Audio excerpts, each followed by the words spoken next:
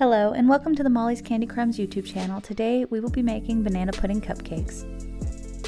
Before we start making these cupcakes, we have to make the banana chips because they take the longest to prepare. Before we can dehydrate this banana, first we have to remove it from its skin and slice the banana paper thin.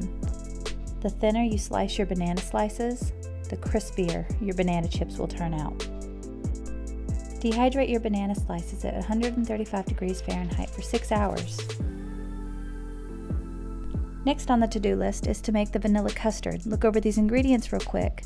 And we're going to get to making this, remembering it has to cool down before we can use it in our buttercream later on in this recipe.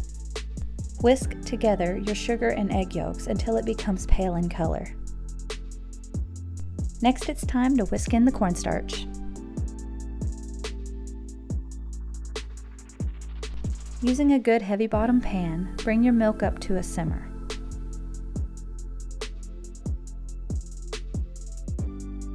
Temper the egg yolk mixture by slowly whisking in a third of the milk.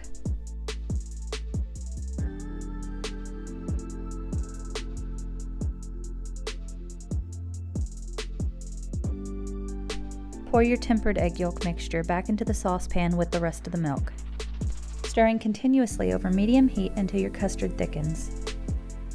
Once the custard has thickened, remove it from the heat and whisk in vanilla extract, butter, and salt.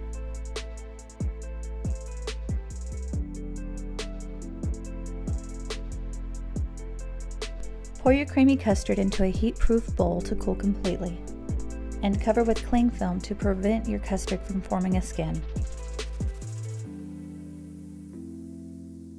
Now it's time to make these amazing banana cupcakes. Look over these ingredients real quick and I'll show you how to make them.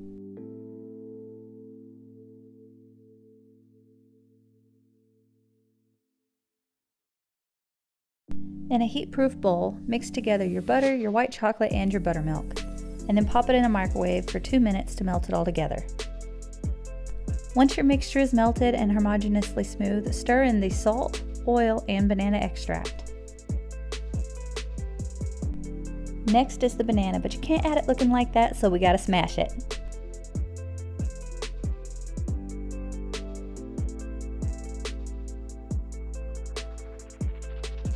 Mix the smashed banana into the melted mixture.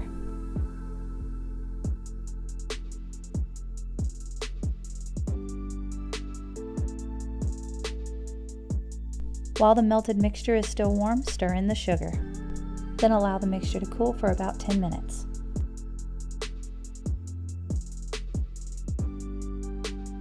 Into a large mixing bowl, pour in your melted mixture and eggs. Using a paddle attachment, break up the egg yolks and mix them into the melted mixture.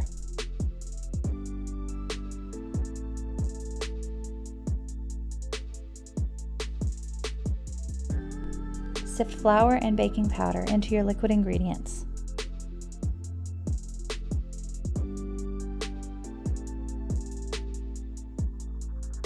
Using the paddle attachment to mix it all together.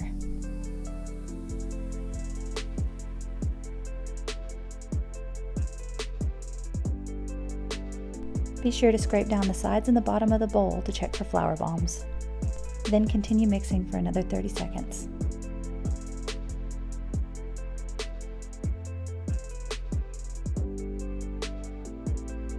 Now it just wouldn't be right to call it a banana pudding cupcake without the use of vanilla wafers. Look over these ingredients real quick and I'll show you what to do. Pour your Nilla wafer cookies into a food processor and blitz them into a powder.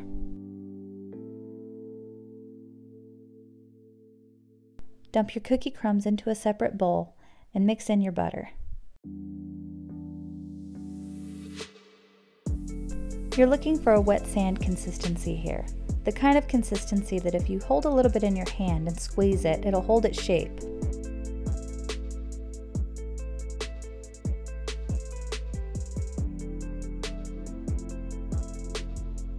Scoop into each cupcake tin liner 1 tablespoon of your damp cookie crumb mixture. Then using a tool with a flat bottom, compact down your cupcake's cookie crust base.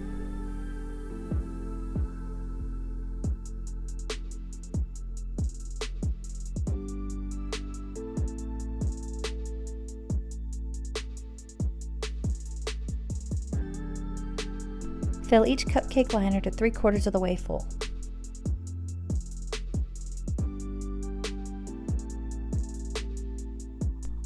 Bake at 350 degrees Fahrenheit for 20 minutes. Take them out of the oven and let them cool completely. And while they are cooling, we can get on to making this vanilla custard Swiss buttercream. Look over these ingredients real quick and I'll show you how to make it.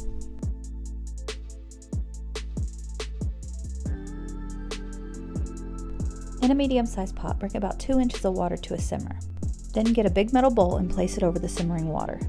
Over the simmering heat in this metal bowl, whisk together your sugar and your egg whites until all the granules have dissolved. To check and see if all the granules of sugar have dissolved, you can pick some of the mixture up with your whisk and just rub it between your fingers. When you no longer feel granules of sugar between your fingers, remove the bowl from the pot of simmering water. Using an electric mixer, continue mixing this until it becomes thick and glossy.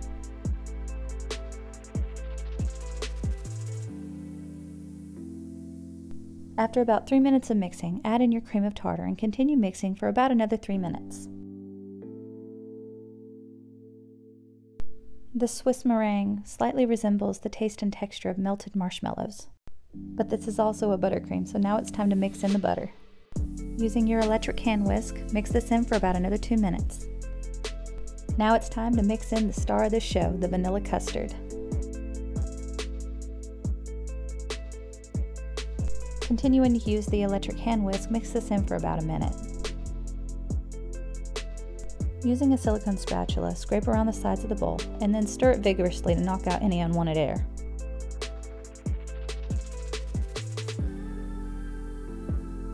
Blitz up about another 70 grams of Nilla wafers for topping the cupcakes.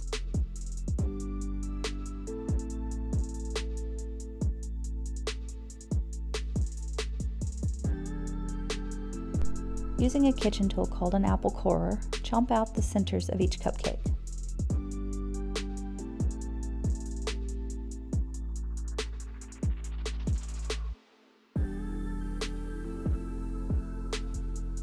When all the centers of your cupcakes have been chomped out, fill the centers of your cupcakes with vanilla custard. Once all the cupcakes are filled, cover them with that silky vanilla custard Swiss buttercream.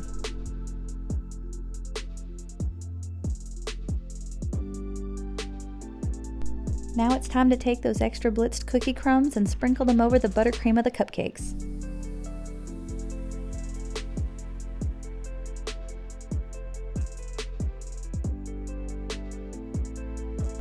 And last but certainly not least, it's time to bust out those banana chips for a beautiful garnish.